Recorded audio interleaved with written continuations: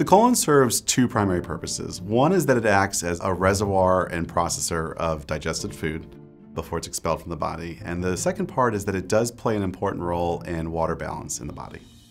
The colon wouldn't be able to do any of these functions without motility. So there is a muscle layer that's a part of the colonic lining that is able to move the feces and help also with the formation of feces through the colon as the electrolytes and the water is absorbed. And there's a very careful balance between stool being too wet and too dry that makes the colon function properly. And the epithelium, or the skin on the inside of the colon, is allowing that water balance to be maintained in a healthy way. So that epithelium or the mucosa is really working overtime to keep that process going in a smooth and predictable fashion. And so to do so, just like the skin on the outside of your body, it's turning over all the time. In order for the colonic lining to remain intact, the cells have to regenerate every couple of days.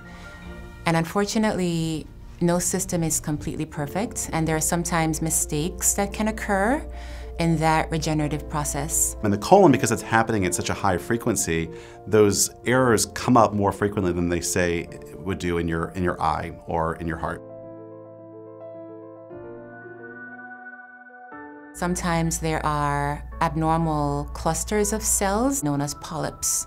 So those polyps are growths from the lining of the colon that then project into the lumen of the bowels.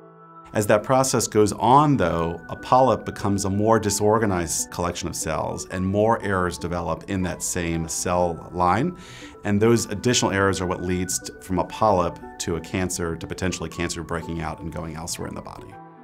One of the main parts of my job is to really encourage uh, persons to be screened for colorectal cancer.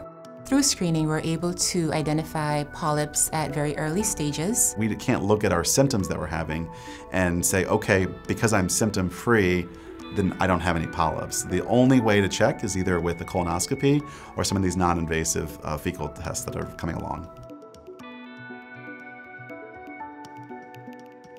The colonoscopy preparation starts 24 hours in advance of the procedure for most persons. And that preparation includes clear liquids for the entire 24 hours prior. And then there's a laxative solution that's usually split into two parts. The most important thing with a colonoscopy is being able to see things clearly. So we really want a pristine colon so that on the day of your colonoscopy, you're coming in with more or less thin, watery diarrhea. That's a good sign that your colon's clean and that we can do a colonoscopy appropriately. Once the patient is fully sedated, we introduce a flexible tube with a light and a camera on the end of it through the rectum, and that tube is navigated along the length of the colon. The colon is approximately five feet, and so we navigate the colonoscope throughout the entire length of the colon. And during that examination, we are looking carefully at the walls of the colon and the lining of the colon.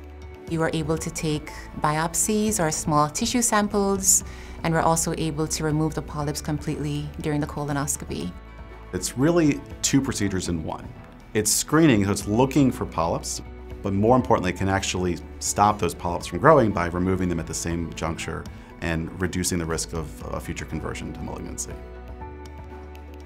We recommend every average risk person to start getting screening colonoscopies at age 45. People are having colon cancers earlier in life, and so obviously if you start screening earlier, the hope will be is that we detect those before they become colon cancers and are able to intervene on those and prevent them in the first place. Screening saves lives. With the colonoscopy, we're able to remove precancerous polyps and prevent colorectal cancer from even developing. And the last reminder I'd like to make is that 45 is the new 50.